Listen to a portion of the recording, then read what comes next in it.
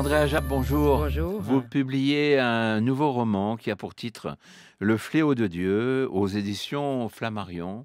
Et je mesure euh, mes mots, c'est vraiment un livre formidable. Merci. Euh, c'est un livre euh, qui nous entraîne dans la France euh, d'il y a environ 700 ans, euh, au moment où la peste survient, et dans l'Europe entière d'ailleurs, la guerre de Cent Ans. On va reparler de tout ça, mais c'est aussi un roman qui nous entraîne sur les traces du Christ. Alors, tout ça se, mélange. Il faut dire que l'Europe était très très croyante euh, à l'époque. Euh, en quelques mots, tout d'abord, il faut raconter un petit peu le, début du roman. On est en 1347. On est en 1347, en novembre, euh, arrive une galée à Marseille et à son bord, il y a ce qu'on a appelé la Grande Peste. Alors, on pourra peut-être revenir sur cette notion de Grande Peste. À cause de la cupidité de l'armateur, qui sait très bien qu'il y a une fièvre qui a emporté trois, trois équipages, la peste se répand et finit par arriver à Paris en août 48 et de là va gagner toute l'Europe. Euh, rien qu'en France, il y aura 7 millions de morts sur une population de 10 millions euh, à l'époque. Donc ça a été véritablement une, une épidémie effroyable. Euh, S'ajoute à ça le début de la guerre de Cent Ans. Euh, S'ajoute à, ça un roi euh, qui est Philippe VI, qui est en fin de règne, que ses, défaites, notamment la bataille de Crécy, qui a été une débâcle pour les Français, a finalement usé euh, qui, qui, qui semble sans réaction. Euh, son fils Jean II euh, est en train de prendre peu à peu le, le pouvoir et c'est un être très secret, prompt à la violence, un peu souffreteux aussi. Donc c'est- une période absolument effroyable pour le royaume de France et va être prise dans la tourmente une jeune aristocrate, Gabrielle Dorillet, enceinte, nouvellement mariée, euh, qui, après la disparition de, son mari, dont elle ne sait pas s'il est mort ou pas mort, euh, va se retrouver en possession d'un diptyque euh, figurant une crucifixion et une assomption. Et derrière le Christ en croix, il y a un manuscrit euh, écrit en, en- hébreu ancien. Et à l'évidence, cette œuvre est récente. Elle est très malhabile, elle est presque laide. Et Gabrielle ne sait pas que parce que elle va se, se ga- garder cette œuvre pour la, pour la préserver, qu'elle va devenir une proie parce que énormément de gens sont à la recherche euh, de, de, cette, de ce diptyque et sont prêts à tuer euh, pour le récupérer. Il faut dire effectivement que votre héroïne, euh, Gabrielle, euh, va se retrouver dans une situation extrême.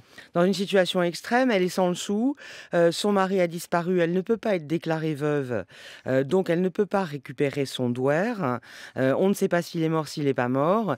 Et donc il va falloir que cette jeune femme, que rien ne prédisposait à se bagarrer et à lutter, retrouve en elle la, la- force de vivre et de faire vivre aussi la matrone qu'elle a entraînée à sa suite, qui devait la coucher et qui se retrouve elle aussi sans le sou euh, et sans soutien. Ça ne devait pas être euh, facile, euh, y, compris pour, pour ses contemporains, euh, pour euh, ceux qu'elle côtoyait et pour, euh, pour elle-même. On peut imaginer ce que, ce que peuvent être des femmes seules euh, au milieu d'un tel désastre. Au milieu d'un tel désastre, c'est une catastrophe C'est ce une catastrophe. Euh, c'est une catastrophe parce que si vous voulez, on est quand même à l'époque où le droit des femmes euh, commence à être émietté de plus en plus. On est passé d'un droit de coutume qui était quand même un droit assez logique, où la femme avec enfant gardait les biens du mari défunt pour les restituer à la majorité des enfants, mais au moins ne se retrouvait pas à la, rue, euh, à un droit romain euh, qui est beaucoup plus défavorable aux femmes. Alors, euh, dans votre livre, euh, on revient euh, sur, vous revenez sur euh, plusieurs aspects euh, de cette, euh, de cette, de cette peste, euh, qu'on a appelée donc la peste noire, et, qui va euh, donc se, se, répandre sur l'Europe comme une traînée de poudre à une vitesse incroyable. À une vitesse parfaitement incroyable. Et d'ailleurs, je souligne votre mot.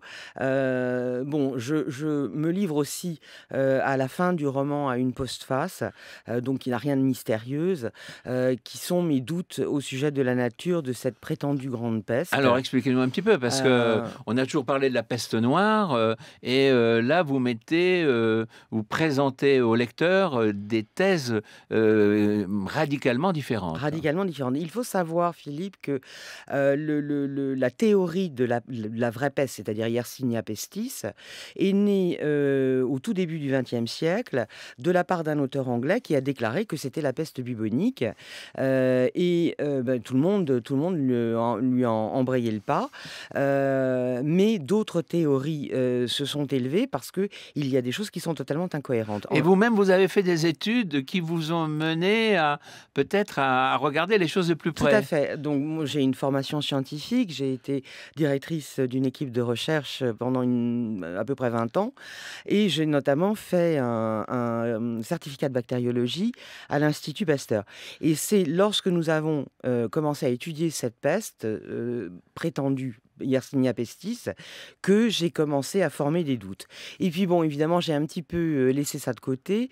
Euh, et brusquement, je me suis dit, il faut, il faut que je creuse ce, sujet parce que c'est extrêmement intéressant. Euh, et c'est là que toutes les incohérences sont remontées à la surface. En effet, il y a trois formes de peste, de Yersinia pestis. Il y a la peste bubonique, vous êtes piqué par une puce de rat, vous avez la peste bubonique et sans traitement, au bout de deux à cinq jours, c'est la mort. Cette peste peut se transformer en peste septicémique, mais ça c'est une forme mineure, euh, ou en peste pulmonaire, et à ce moment-là, elle se change d'homme à homme, et sans traitement, le, décès survient à environ 95% dans les deux à trois jours. On décrit à l'époque des agonies de plusieurs semaines, voire d'un mois. C'est totalement incompatible avec ça ne correspond pas à ce qu'on peut savoir aujourd'hui. Non.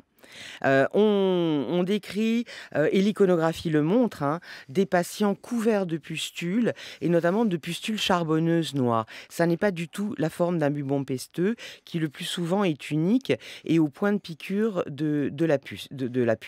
Donc hein, il, peut, être euh, à la nuque, à l'aine. donc là aussi, il y a quelque chose qui ne va pas. Et puis il y a la vitesse de propagation. qui est incompatible avec un déplacement de rat. Euh, la peste a progressé de plus de 5 km par jour. Ça n'est pas possible. Euh, de surcroît, on n'a aucun témoignage signalant des monceaux de rats, parce que pour avoir cette répandue oui, jusqu'au fin fond, euh, voilà, cavalant à travers hein, l'Europe. cavalant à travers l'Europe, on aurait dû avoir des millions et des millions et des millions de rats morts dans les caves, les greniers, un peu partout. Il n'y a aucun témoignage de la sorte. Euh, donc, si Alors, vous voulez... si c'est pas la peste, c'est quoi? Alors, les autres hypothèses, euh, c'est soit euh, Bacillus anthracis, c'est-à-dire le charbon, ce qui expliquerait d'ailleurs qu'on a eu comme ça des réémergences de cette épidémie pendant un siècle et demi. Euh, ce qui là encore est assez peu compatible avec la peste. Euh, ce qui expliquerait aussi, euh, j'allais dire malheureusement, le, peu de mortalité, parce qu'en effet, selon les endroits, 30 à 60% des gens sont, sont morts. Si ça avait été une peste pulmonaire, on aurait eu 90 à 95% de décès. Ça colle beaucoup plus avec une mortalité due au charbon. Euh, ou alors carrément certains auteurs sur la foi là, euh, de, preuves génétiques extrêmement fines pensent qu'il aurait pu aussi s'agir euh, d'un virus de la famille des filovirus, c'est-à-dire de la même famille qu'Ebola. Alors, vous revenez d'ailleurs à la fin de, votre livre. il y a une, petite partie de, la fin de, ce roman, ce qui est tout à fait extraordinaire. Vous avez une bibliographie, donc vous vous appuyez bien sur des, des, faits euh, des faits réels et des faits scientifiques. Et puis en même temps, vous nous expliquez un petit peu ce dont il s'agit. Mais il y a une autre chose qui est très très intéressante aussi, c'est ce, c'est ce diptyque euh, dont votre héroïne se retrouve, euh, qui, qui, est, qui, est, en possession donc de, cette œuvre. Et ça nous amène à, ça vous amène à vous poser la question de savoir ce que, ce que le Christ a bien pu faire pendant une douzaine d'années. Parce qu'il y a, y a un trou, si je puis dire, euh, mmh. dans, euh, dans la vie du Christ. pendant 12 ans, on ne sait pas ce qu'il a fait. Ce sera les autres épisodes. Hein? Ce sera les autres épisodes. Oui, oui, mais en attendant, c'est un petit peu déjà autour de, de ce premier livre. Euh, oui, en effet. Euh, en fait, on ne sait pas très bien. Euh, un des chanoines arrive à, à, traduire quelques lettres qui figurent, donc en, en, hébreu ancien, qui figurent sur le, sur le diptyque, et il y est fait mention d'un prophète. et donc, on ne sait pas trop, puisque personne euh, en Europe chrétienne n'appellerait le Christ un prophète. Euh, c'est le Fils de Dieu, c'est le Sauveur, c'est le Messie, mais ça n'est pas un prophète. Donc toute l'histoire va tourner autour, euh, autour de l'élucidation de du, déchiffrement finalement du diptyque et autour effectivement d'un secret qui entourerait le Christ. Parlons net, le Christ aurait pu peut-être quitter la Galilée à un certain moment de sa vie. C'est une des théories. C'est une des théories. Euh, et aller ailleurs. Euh, et aller ailleurs, c'est une des théories incroyable parce qu'en réalité, euh, c'est très peu évoqué euh, au jour d'aujourd'hui. C'est très peu évoqué, mais parce qu'il y a effectivement, si vous voulez, le, euh, les évangiles se concentrent beaucoup sur la naissance du Christ et puis évidemment sur, sur la crucifixion, sur la passion, sur. mais c'est vrai qu'au milieu, il y a un vide qui, bien sûr, est très attirant pour des écrivains parce que ça permet la fiction et personne ne prétend détenir la vérité à ce sujet, bien évidemment mais c'est très attirant pour un écrivain, surtout comme vous le disiez en cette époque euh, du Moyen Âge où tout le monde a la foi, euh, même si euh, des critiques très vives s'élèvent contre, contre les hommes de l'Église. Comment construisez-vous vos romans? Enfin, Est-ce que, par exemple, là, le, fléau de Dieu, c'est venu à la suite des études que vous aviez faites ou des années que vous aviez passées à Pasteur, ah, André Tout à fait, tout à fait. Cette histoire de, de peste me poursuit sporadiquement depuis, j'ai fait ce certificat en 87, et depuis 87, je me dis c'est pas possible, il y a des choses qui ne cadrent pas. C'est très énervant pour une scientifique, et donc j'ai récupéré toute la bibliographie scientifique à ce sujet en essayant un petit peu de m'orienter et en reprenant aussi le, trajet de la peste qui arrive donc par Marseille, par un bateau génois, et euh, je dois dire d'ailleurs que la scène avec le, comment l'armateur Cupide, je me suis inspiré exactement de l'arrivée de la peste à Marseille euh, au début du XVIIIe siècle. J'ai transposé la scène euh, en, 1347, mais c'est la scène de l'arrivée au bord du, Grand Saint-Antoine de la peste à Marseille au début du, du XVIIIe siècle. Et puis il y a aussi, si vous voulez, une espèce de euh, il y a aussi des bonheurs euh, de, de l'historien très amateur que je, que je suis, puisque je suis avant tout une scientifique. Euh, je suis tombée sur le personnage de, de, Jeanne de Bourgogne, qui est devenue l'épouse de Philippe VI, donc qui est devenue Jeanne de France. Et c'est un personnage qui m'a beaucoup bouleversée, parce que c'était une femme très intelligente, très pieuse, et qui n'avait que le tort de boiter, ce qui fait qu'elle était absolument exécré dans le royaume. Euh, le Moyen Âge détestait les infirmités de naissance. C'était quelque part une... Et pourtant, il y en avait sûrement beaucoup. Et pourtant, il y en avait énormément. Mais quelque part, c'était une preuve démoniaque. Euh, donc on, avait une méfiance terrible pour les boiteux, les bossus, euh, euh, les becs de lièvre et les choses comme ça, voire on pouvait devenir assez méchant avec eux. Et, donc Jeanne de, France a été, elle a occupé la régence pendant dix ans. c'était une femme de tête, c'était sans doute une femme autoritaire, mais c'était une femme pieuse dont on n'a pratiquement rien. Il n'y a pratiquement rien sur elle. Et elle a quand même régné elle-même dix ans euh, en régente. Vous mêlez euh, à la fois la science, l'histoire, et puis le roman policier, le thriller, pourrait-on dire. c'est peut-être pas évident C'est pas évident, mais c'est assez grisant en fait. Heu, c'est assez grisant si vous voulez lorsque vous vous attachez à donner un arrière-plan historique, heu, aussi fiable que possible, de faire après une fiction qui est totalement inventée, hem et mais d'essayer de garder un monde qui a qui a existé, qui a été réel, avec un monde complètement, de fiction que vous avez inventé. Arriver à faire cadrer les 2 et à faire fonctionner les 2 ensemble, c'est assez grisant. Même temps, heu, parallèlement à tout ça, vous êtes aussi traductrice et d'un d'une romancière, très célèbre dans le monde entier. Oui, Patricia Cornwell Patricia et je Cornwell. suis d'ailleurs en ce moment en train de terminer la traduction, heu, du prochain.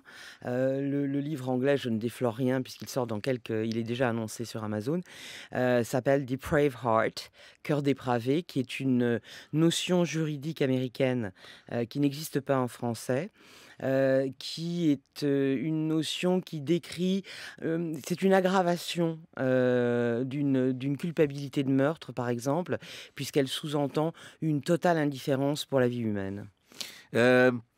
On peut pas, quand on travaille comme ça, toute la journée, il faut bien faire, heu, hem, les des barrières entre, des il y a le moment où il y a votre œuvre et puis il y à a il y Patricia Ah, tout à Cornwell. fait. C'est d'ailleurs pour ça que je n'écris jamais pendant que je traduis. C'est impossible. Le c'est un exercice radicalement différent.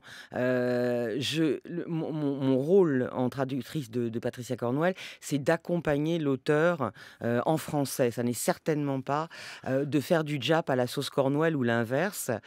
Donc c'est quand même un exercice d'humilité. Il faut s'oublier. On termine, hem, ça n'est que le premier volume, hein, que le premier. heu, oui. Le Fléau de Dieu. Oui. Heu, il y aura une suite. Normalement, il y a une suite. Normalement, c'est une trilogie.